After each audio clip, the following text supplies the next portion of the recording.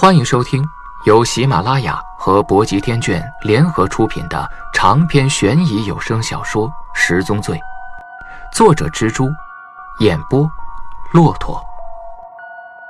第一百七十五集。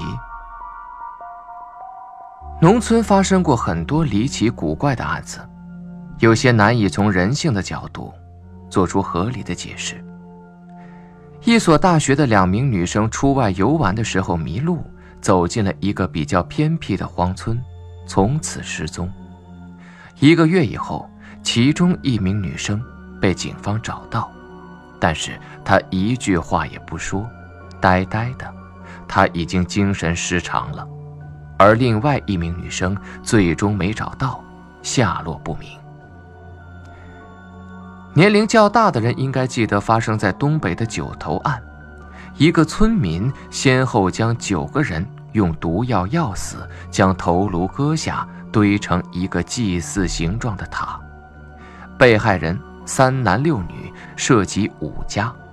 这是一起因为迷信活动而导致的凶杀案。滇东南的一个乡村，常年有小孩失踪，都是十岁以下的幼童。最初，村里人以为是被人贩子拐跑，都严加看护自己的孩子。但是，村里的孩子需要干些农活，无法管教太严。有一天，姐弟俩白天出去玩，晚上回家的时候只有姐姐。父母问：“你弟弟呢？”姐姐说：“跟着一个老奶奶去吃糖了。”父母就去老妇家找小孩老妇一家矢口否认，但是眼神却瞟着院子里边的猪圈。父母觉得可疑，就跑过去看，在猪圈里发现了一具被剁去四肢的小尸体，正在被猪拱来拱去。父母吓瘫了，醒过神来，拔腿就跑，召集村民围攻老妇一家。老妇被愤怒的村民扭断双手。他家的菜板上有血迹，问他以前失踪的那些小孩哪儿去了？老妇说：“喂猪了。”包斩回到村委会，将调查的情况悄悄告诉了特案组的其他三名成员。案情发布会已经开完，梁教授让村委会干部组织起来，挨家挨户进行调查，列出该村的失踪人口名单。村党支书表示，村里边有很多男人都外出打工去了，一时半会儿联系不上，核查失踪人口需要时间。村党支书以极快的工作效率统计了一下东石古村的失踪人口。到了晚饭时间，村党支书向特案组声称，本村没有失踪人口。他们设下晚宴，只想尽快的把特案组打发走。特案组对他们的草率感到了愤怒，但是又无可奈何。乡长高日德说：“吃了饭再走吧，我们叫了酒菜。”村党支书厚颜无耻地讪笑着说：“反正都是公款。”梁教授让大家凑了一些钱交给村党支书，他表示这些是饭钱，顺便把房租也交了。麻烦你们村委会收拾出两个房间，我们特案组打算住在这个村里，不调查清楚，绝对不会离开。华龙悄悄对包斩和苏梅竖起大拇指，他说道：“我就喜欢老头这倔劲儿。”高日德和村党支书并没有感到难堪，只觉得不可思议。这是他俩担任基层干部以来第一次遇到拒绝公款吃喝、甘愿自掏腰包的人。晚饭过后，特案组四个人进驻了村委会的值班室。梁教授打电话询问了一下当地警方和省厅以及有关部门在其他三个村的调查，毫无进展。法医小组进一步的勘验报告却有了新的发现。八名死者的衣物纤维之中均有矿物质粉末，经过化验，那是一种碳元素。八具尸体埋在荒野之中，发掘的土壤里没有煤炭，这说明死者生前可能从事煤炭的挖掘、运输、贩卖或者是装卸工作。特案组讨论了一下，大家对此案的看法一共有以下几点：一，凶手不止一人，八具尸体，而且被害时间跨度大，一个人不大可能完成杀人、运尸、埋尸和遗失的整个犯罪过程。二，凶手的身份为农民，或者有着长期农村生活经验的人。这一点可以从码放尸体的方式上分析得出。三，凶手对埋尸处的地理环境非常熟悉，对周围的村子应该也很熟悉。四，八名死者的衣物上都发现了煤屑，东石谷村村民大多外出干活，从事挖煤矿的体力劳动，特案组更加坚定了侦破方向，凶手。极有可能就在这个村里，因为八名死者被埋在地里，尸体都已经腐败，面目难辨。梁教授打算第二天让村民来辨认死者的衣物，希望能够确认死者的身份。当天夜里，苏梅遇到了一件毛骨悚然的事情：村委会墙外有一个公共厕所，肮脏无比，茅坑。用石头垒起，男厕女厕不太好分辨。厕所墙上原先用石灰写着男女，但是被调皮的孩子用砖茬写上了字，故意混淆。半夜的时候，苏梅拉肚子，去户外上厕所。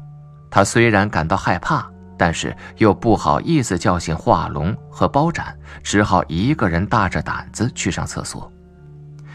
墙上标志混乱。夜里分不清男厕女厕，苏梅轻轻喊了一声：“有人吗？”黑乎乎的厕所里边无人回答。苏梅憋不住了，顾不了那么多，硬着头皮随便找了个厕所就走了进去。苏梅穿着一条紧身的铅笔裤，腿部显得性感修长。她脱了裤子，蹲了下来，皱一皱眉。一阵水花四溅的声音过后。苏梅如释重负，同时她感到羞涩。那声音在夜里，未免太响了一点。苏梅挪动一下脚步，高跟鞋踩在茅坑的石头上，一不小心就会滑下去。地上有很多烟头，还有许多擦过屁股的烟和纸。苏梅在心里边嘀咕了一句：“进错厕所了。”厕所隔墙上有几个缝隙，缝隙之间的泥巴很容易捅开，有的砖已经松动了，甚至可以拽出来。农村厕所墙壁上大多都有个洞，这归功于农民的娱乐心理，偷窥欲在这里得到了明目张胆的释放。如果在男厕，透过墙上的小孔向女厕望。很可能会看到一个眼珠正在偷窥男厕。更奇妙的是，互相偷窥的就是在乡间土路上刚刚打过招呼的两个乡邻。苏梅觉得这个厕所有些古怪，担心被人偷窥，她不敢凑近墙缝去看旁边厕所里有没有人。黑暗之中，她突然觉得有什么东西摸了一下她的屁股。苏梅吓得魂飞魄散。恐怖片里常常有这样的画面：女人在方便的时候，便池里突然伸出一只手。她低下头一看，随即就不感到害怕了。脚边有一根树枝，可能是自己无意间呐碰到了树枝。苏梅正想站起来的时候。墙的那边传来了一阵阴森森的笑声，一只手突然从墙的那边伸出来，那只手抓起了树枝，插到了苏梅的头上。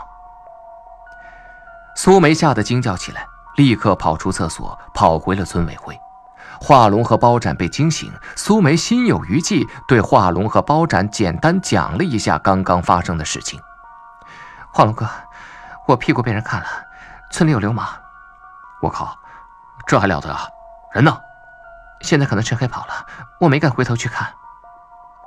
包斩说道：“你说那个人把树枝插到你头上，是啊，我还听到那个人笑了，特别恐怖，吓死我了。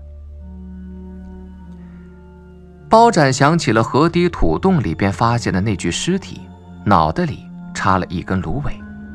这个偷窥厕所的人也有往人头上插树枝的动作，那么此人会不会就是凶手呢？厕所里边已经没有人了，墙壁上的两块砖被人拽了出来，那个人就是从这个墙洞里边伸出手吓唬苏梅的。厕所旁边有一个人字形路口，那个人肯定跑不远，华龙和包斩决定分头去追。苏梅站在路口，惊魂未定。路口附近有一片小树林，树林里还有几堆玉米杆和棉花杆。夜色之中，苏梅隐隐约约看到了诡异的一幕：一个什么东西正直立行走在树林里，从身影上看，就像是一具骷髅或者是一具干尸。这具干尸走路的姿势非常奇怪，上身不动，双手低垂，一点儿一点儿地向前走。苏梅大喊起来，画龙就在附近，闻声而来。两个人走进树林查看。树林里边没有人，一片寂静，月光如水。画龙质疑道：“你是不是眼花了？吓傻了？我明明看到这树林里边有东西啊！”见鬼了！苏梅有些害怕，紧紧握着画龙的手。那东西绝对不是一个人，也不像是什么动物。画龙拉着苏梅的手，继续往树林深处走。他们绕过几个柴火垛，没有发现异常情况。检查完最后一个柴火垛，环顾四周，月光照耀着树林里，看不到一个人影。苏梅说道：“会不会藏到玉米杆垛里了呀？”华龙踢了踢堆放着的玉米杆，威胁道：“出来！”玉米杆垛里边也没人。